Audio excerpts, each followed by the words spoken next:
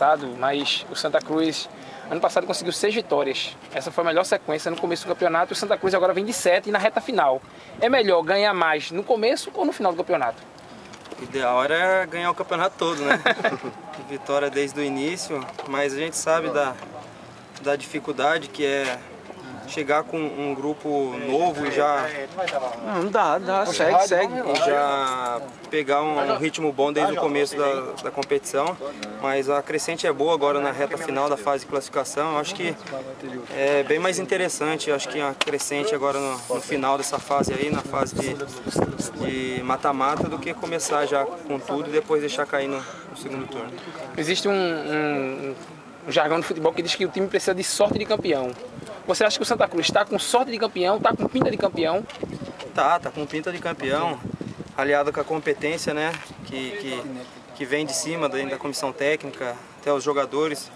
Você vê o grupo aí, tem vários jogadores que já conquistaram títulos, já conquistaram, né, tiveram sucesso por onde passaram. E tá reencontrando aqui no, no Santa Cruz o futebol, um bom futebol, um futebol interessante, né? Mas eu acho que está com cara de campeão e a gente vai levar isso até as finais. O Zé quer aliar essa vontade que o Santa adquiriu agora com essa bola rodada. E você é um homem que domina bem, que cadencia o jogo. É o que está faltando para colocar nesse, nesse ingrediente, esse ingrediente que falta para esse bolo do Santa Cruz?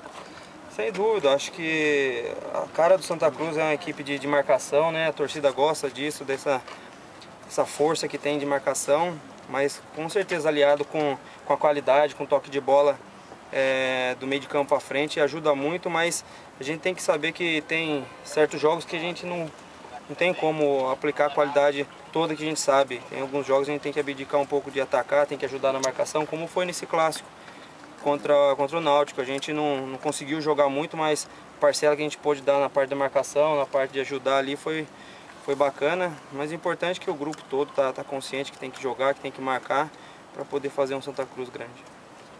Empolgado para enfrentar esse América aí, lanterna da competição, ou prefere se resguardar para o clássico contra o Sport? Não, empolgadíssimo. É, nossas pretensões é de classificar entre os dois primeiros ali para ter a vantagem e essa vitória contra o América vai ser importantíssimo. O Salgueiro está na nossa cola ali, a gente não pode deixar eles passarem, né? Mas é importante a gente conquistar uma vitória aqui dentro de casa, pedir para o torcedor comparecer para nos apoiar, porque daí a gente vai já com, com tudo para cima do esporte depois no clássico. Daí na semifinal não escolhe adversário, né? Que venha o Salgueiro ou não. Não, não tem como escolher. A gente, é, se fosse preferir escolher, escolher a vantagem, né? De classificar em primeiro ou segundo para ter a vantagem de decidir em casa, né? A vantagem que tem da competição, mas adversário, quem vier pela frente, a gente tem que enfrentar. Luciano, para descontrair, o jogo é domingo de Páscoa, Semana Santa, não sei se você é muito religioso, mas tem um comportamento diferente por ser um feriado religioso, não pode falar palavrão, tem algum cuidado maior nesse sentido? Não, eu sou católico, é, acredito, né? Em Jesus Cristo e, claro, é um, é um final de semana diferente, é um final de semana de Páscoa. Mas é, o jogo não, não muda. O jogo é 11 jogadores do lado do América querendo é, atrapalhar nosso time aqui dentro do Arruda e a gente tem que ir concentrado para conquistar a vitória.